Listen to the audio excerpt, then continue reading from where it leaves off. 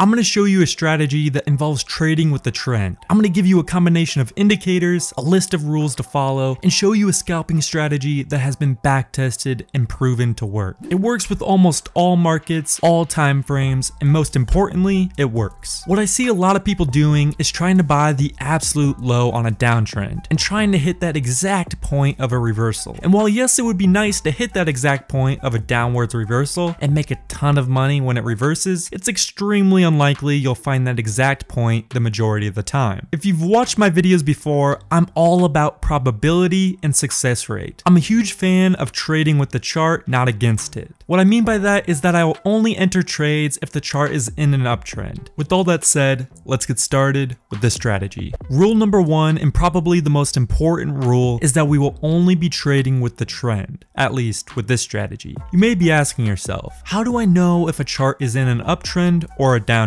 Well, it's pretty simple. Just go to TradingView, click the indicators tab, and type in EMA for exponential moving average. Then go to the settings of the indicator and change the length to 200. This will give us a 200 day moving average. I'm also going to change my line to red just so you can see it better, but this is optional. So with this strategy, we will only enter a trade if the chart is in an uptrend, which means we will only enter a trade if the price is above the 200 day line. If the price is below the 200 day line, we will not enter the trade. So this is the first rule of the strategy. You must be trading with the trend, meaning we will only enter a trade if the price is above the 200 day line. Now that we know rule number one, let's move on to the rest of the rules that must be met in order for you to enter the trade. Rule number two involves using the RSI indicator but with a twist. Go to the indicators tab and type in RSI divergence. Make sure to pick this one right here. Next, we're gonna change the settings a bit. Go to the settings, then uncheck these bottom three checkboxes, so this will clean our chart up a bit. Then go to the middle line tab and change the color to white and make it a solid line. This is just so it's easier see. Now, usually the RSI indicator is used for seeing if the market is overbought or oversold, but in this strategy, we're gonna be using using it to find momentum in the market.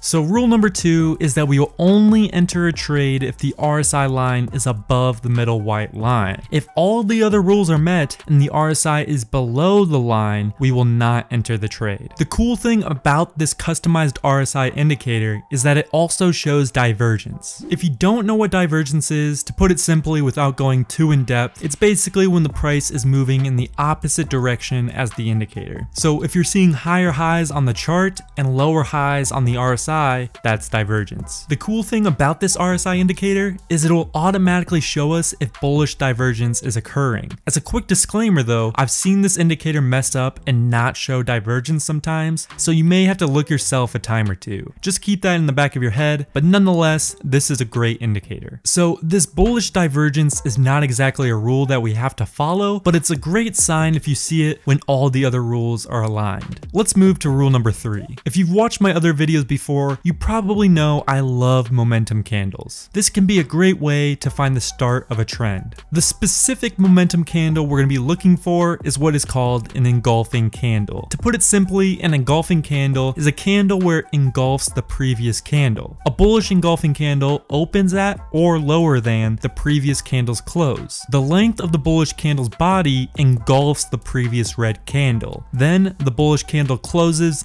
above the previous candle's open. This is an engulfing candle, and it's a great way to find the start of a trend. Instead of looking for this candle ourselves and just looking at the chart all day, we're gonna let an indicator do the work for us. Go to the indicators tab and type in engulfing candle. You're gonna choose this one right here. When you add it, you're gonna be seeing a bunch of red and green arrows. Since we're gonna be doing long trades in this example, you can just disregard the red arrows. So all of these green arrows are bullish engulfing candles. Rule number three is we will only enter a trade if we see a green arrow. So let's go over what a successful trade would look like. One, we see the price is over the 200 day line, which implies the chart is in an uptrend, so, so far, so good. We then make sure the RSI line is above the 50 mark, which it is, so we're all good there. We do not need to see a bullish divergence, but if we do see one, it's a plus one and makes this trade even more bullish. Next, we look for a green arrow.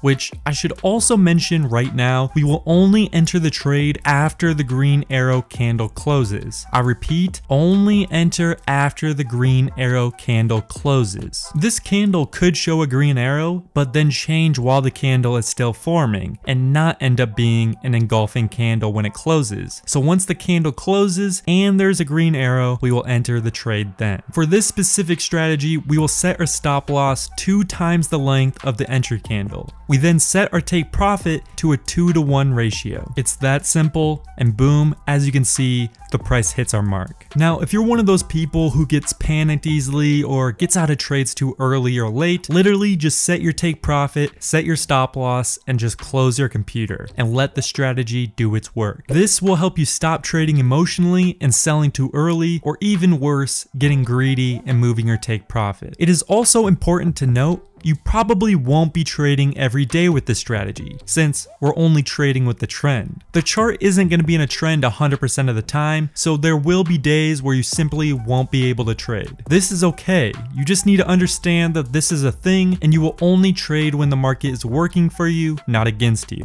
Let's do one more example. First, we make sure our price is above the 200 day line. We then make sure the RSI is above the 50 line. We also see that the RSI has a bullish divergence which is not needed, but it increases the chance that this will be a winning trade. So that's good. Then we see a candle with a green arrow under it, indicating it's a bullish engulfing candle. We then wait for that specific candle to close. Once it does, we enter the trade. We set our stop loss two times the length of the engulfing candle, then put our take profit mark to a 2 profit ratio, then wait. We see the price move up, hit our take profit mark, and we exit the trade. I just showed you a successful trading strategy that works great because you trade with a trend. All I ask in return is if you take 2 seconds out of your day and like this video. It seriously means the world to me and helps me out so much. If you want to see my secret strategy to avoid false breakouts, watch this video because there are some pretty insane hidden gems in there that'll improve your trading so much. Thanks for watching, and I'll see you guys